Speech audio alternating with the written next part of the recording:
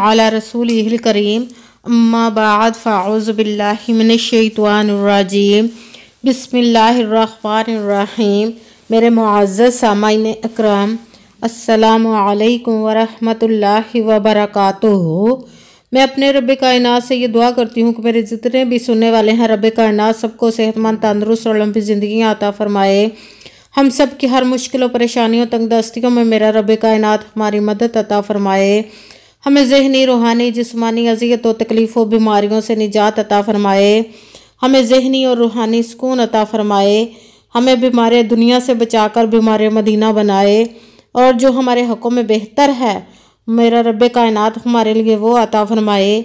और जो हमारे हकों में बेहतर नहीं, उसका ख्याल भी हम सब के दिलों से निकाल दे। और हम सबको अपनी रज़ा पर राज़ी रहने वाला बना दे। आमीन, सुमा आमीन। आज रजबुल मुरजब की बारह तारीख है और बुध का दिन है और ये ख़ास बारह तारीख का वजीफ़ा मैं आज अपने बहन भाइयों को बताने लगी हूँ, जो मेरे बहुत दुखी, गरीब बहन भाई हैं। ये उनके लिए बहुत ख़ास और तोहफ़ा वजीफ़ा है।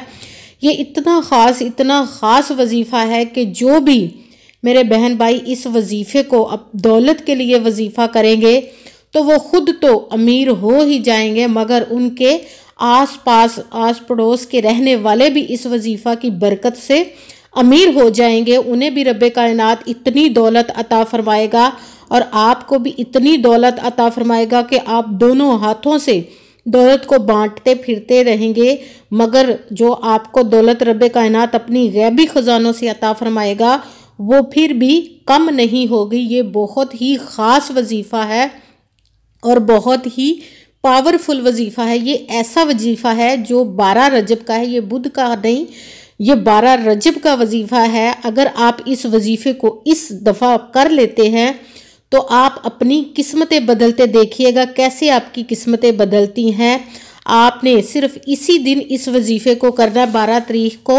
और पूरा साल, अगर आप इस साल बारह तारीख को ये वजीफ़ा कर लेते हैं तो आप फिर पूरा साल इंतज़ार करेंगे कि अगले साल कब बारह तारीख रजब की आए और हम इस वजीफ़े को करें कि इसकी इतनी बरकतें और रहमतें हैं कि इस वजीफ़े के करने से ऐसे रब कायनात आपकी तकदीरें बदल देगा, आपकी किस्मतें बदल देगा, आपकी तमाम हाजात को रब कायनात तो पूरा फरमा देगा, आपके हालात बदल जाएँगे, आप की ज़िंदगियाँ आसान हो जाएँगी रब कायनात के हुक्म से वो अपने गैबी ख़जानों से अता फरमाएगा कि आपको समझ भी नहीं आएगी कि दौलत कहाँ कहाँ से आ रही है कौन दे रहा है।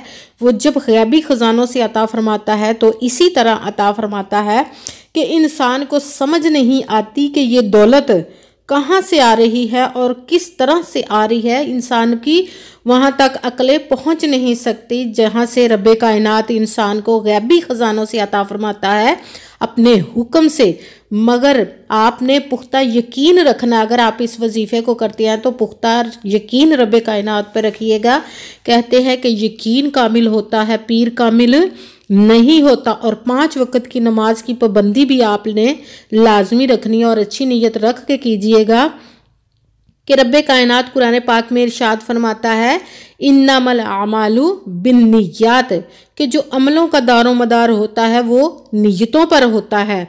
अगर हमारी नीयत अच्छी है तो हमारा अमल भी अच्छा होता है, और अगर हमारी नीयत ही अच्छी नहीं तो हमारा अमल भी अच्छा नहीं होता। चाहे हम जितनी मर्ज़ी कोशिश कर लें, जितनी मर्ज़ी मेहनत कर लें, हमें वो अजर, वो फल नहीं मिलता, हमारा वो मसला हल नहीं होता। इसलिए अच्छी नीयत रख के, यकीन कामिल रख के रब कायनात पे इस वजीफ़े को कीजिएगा। जब वजीफ़ा करने लगें तो कमेंट्स में अपना नाम और जहाँ आप रहते वो जगह ज़रूर लिखिएगा ताकि मैं भी आप लोगों के लिए दुआ कर सकूँ और आपको फिर इजाज़त मिल जाएगी। अगर वीडियो अच्छी लगे तो इसको लाइक ज़रूर कीजिएगा और आगे भी शेयर कर दीजिएगा ताकि मेरे किसी दूसरे बहन भाई को इससे फ़ायदा पहुँचे तो हमारे लिए ये सदका जारिया बन जाए और चैनल को भी सब्सक्राइब कर लीजिएगा बेल आइकन को भी दबा लीजिएगा। जो नए सब्सक्राइबर हैं, जो नए व्यूज़ हैं व्यूवर्स हैं, वो इस चैनल को सब्सक्राइब कर लें। और बेल आइकन को भी दबा लें ताकि मेरी अगली आने वाली वीडियो आप तक पहुँच सके। और अगर कोई मुझसे किसी मसले के बारे में इस्तारा करवाना चाहते हैं या हिसाब लगवाना चाहते हैं किसी काम का या किसी मसले के बारे में वजीफ़ा पूछना चाहते हों तो वीडियो पर व्हाट्सअप का नंबर चल रहा है। आप लोग मुझसे भी रबता कर सकते हैं। जो मेरे भाई या बुज़ुर्ग मुझसे रबता करना चाहते हैं तो व्हाट्सअप पर वॉइस मैसेज कर सकते हैं। और अगर मेरी बहनें या माएँ मुझसे रबता करना चाहती हैं तो व्हाट्सअप पर वॉइस कॉल करके मुझसे बात कर सकती हैं। और पूरी वीडियो को ध्यान के साथ, तवज्जो के साथ सुन के इस वजीफ़े को कीजिएगा। ये बहुत ही आसान वजीफ़ा है। इतना मुश्किल भी नहीं है और एक डेढ़ मिनट भी नहीं लगेगा इस वजीफ़े को। और आपकी किस्मतें बदल जाएँगी, आपकी ज़िंदगियाँ आसान हो जाएँगी जो आगे वाली हैं। और आपकी हर ख्वाहिश रब कायनात अपने हुक्म से, अपने प्यारे महबूब के सदका से पूरा फरमा देगा। और अगर इसी भी लफज को आगे पीछे मत कीजिएगा ध्यान के साथ तोज्जो के साथ पूरी वीडियो को सुन के फिर वजीफ़े को कीजिएगा। और जैसे ही आपको वीडियो मिले तो फ़ौर ही इस वजीफ़े को कर लीजिएगा। ये शाम तक का टाइम है। तो इस आप वजीफ़े इसको चाहें तो आज के दिन एक मरतबा कर लें। अगर आपका दिल चाहे तो दो या तीन मरतबा भी आप इस वजीफ़े को पढ़ सकते हैं। किसी भी वक्त पढ़ सकते हैं। दिन में किसी भी जगह पे बैठ के पढ़ सकते हैं। मगर ये ध्यान रहे कि जहाँ पे आप बैठ कर पढ़ रहे हैं, बिल्कुल खामोशी और सुकून के साथ बैठ के पढ़ना है। पूरे वजीफ़े को पढ़ के फिर आपने उठना है। दरमियान में ना तो किसी से बात करनी है और ना ही फ़ोन इस्तेमाल करना है। एक डेढ़ मिनट में आपका यह वसीफ़ा मुकम्मल हो जाएगा। सबसे पहले आपने एक मरतबा दरूद पाक पढ़ना है। जो भी आप दरूद पाक पढ़ना चाहें, आप पढ़ सकते हैं। बेहतर है कि जो दरूद पाक नमाज़ में पढ़ा जाता है, दरूद इब्राहिमी, वो पढ़ लें, बेहतर है। और उसके बाद फ़ौर ही आपने या अल्लाहू या फ़त्ताहू या अल्लाहू या फ़त्ताहू, या अल्लाहू या फ़त्ताहू। इसको आपने ग्यारह मरतबा करना है। तादाद में आपने अपनी तरफ़ से कमी या पेशी नहीं, कम या ज़्यादा नहीं करना। जितनी तादाद में मैं आप लोगों को वजीफ़ा बता रही हूँ, उसी तादाद में आपने इस वजीफ़े को पढ़ना है।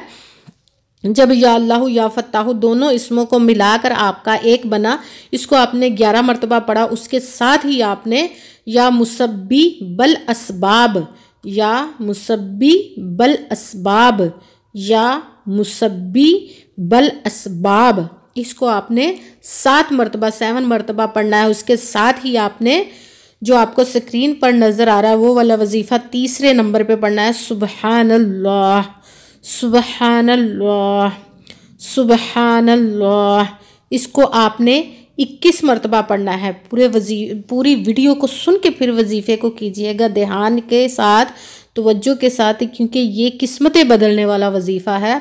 बहुत ही पावरफुल और मुजरबुल मुजरब वजीफ़ा है। दोबारा मैं आपको बता देती हूँ, एक मरतबा दरूद पाक पढ़ना है। उसके साथ ही आपने या अल्लाह या फ़त्ताहू ग्यारह मरतबा पढ़ना है। उसके साथ ही आपने या मुसब्बी बल असबाब, इसको आपने सात मरतबा पढ़ना है। उसके साथ ही आपने सुबहानल्लाह इक्कीस मरतबा पढ़ना है। फिर आपने वही दरूद पाक पढ़ना जो वजीफ़ा शुरू करने से पहले पढ़ा था। एक मरतबा दरूद पाक पढ़ के दोनों हाथों को रब कायनात की बारगाह में फैला लेना है। और फिर रब कायनात से आपने जिस मकसद, जिस भी हाजत के लिए आप इस वजीफ़े को किया उसके लिए आप दुआ मांगे अपने रब से इन इनशाला अज़ीज़। रब नायत रब कायनात को बुलो मंजूर अता फरमा के आपके उस मकसद को हल फरमा देगा, जिस भी मकसद के लिए आप इस वजीफ़े को कर रहे हैं। और दुआओं में मुझे भी याद रखिएगा रब कायनात आपको कामयाबियाँ अता फ़रमाए। आमीन, सुमा आमीन।